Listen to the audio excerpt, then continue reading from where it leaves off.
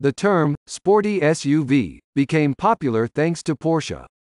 It all started when the German marque decided to launch the Cayenne back when its finances were in the red. Porsche was quick to realize the potential of having an SUV and decided to invest heavily into an idea that many thought was preposterous. The move turned out to be a success and set the cash registers ringing.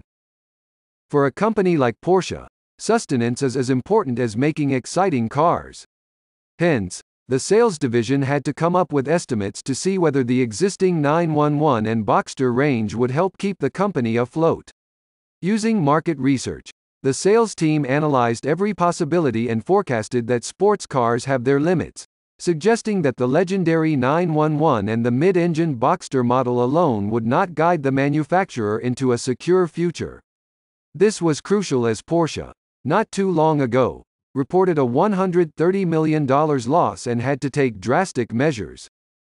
Five alternative vehicle concepts were examined for the third Porsche, but in the end, only a luxury minivan and a fast, premium SUV were seriously considered.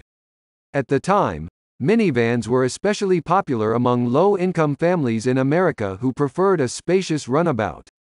However, large SUVs were also doing well across all income levels, recalls Anton Hunger, former head of communication for CEO Wendelin Wiedeking.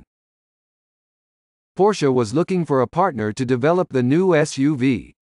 Mercedes-Benz was due to launch the M-Class in 1997 and didn't mind Porsche stepping in if it mutually benefited both parties.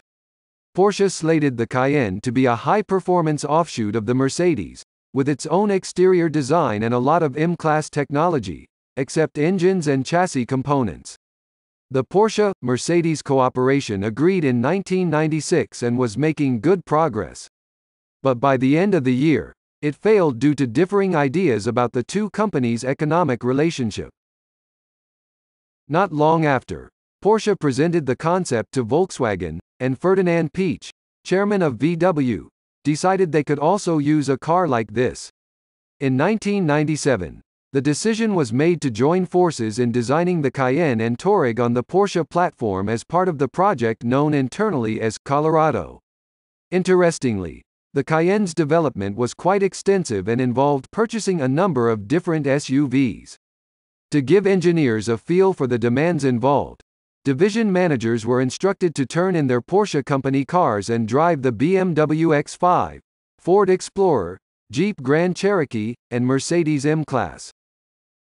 In 2002, four years after the decision to build the Cayenne was made public, the first five-seater Porsche celebrated its world premiere. At the start, Porsche was pretty conservative and only planned to deliver 25,000 cars per year. However, Porsche sold 276,652 examples of the first generation over eight model years, translating to just under 35,000 units a year. As of today, more than a million Cayennes have been sold. And in 2021 alone, Porsche sold nearly 80,000 units, signifying the model's success. According to Oliver Blume, chairman of the executive board of Porsche, with the Cayenne, we have succeeded in successfully transferring the Porsche legend to a completely new market segment. Our sports car in the SUV segment has proven to be a bestseller since 2002.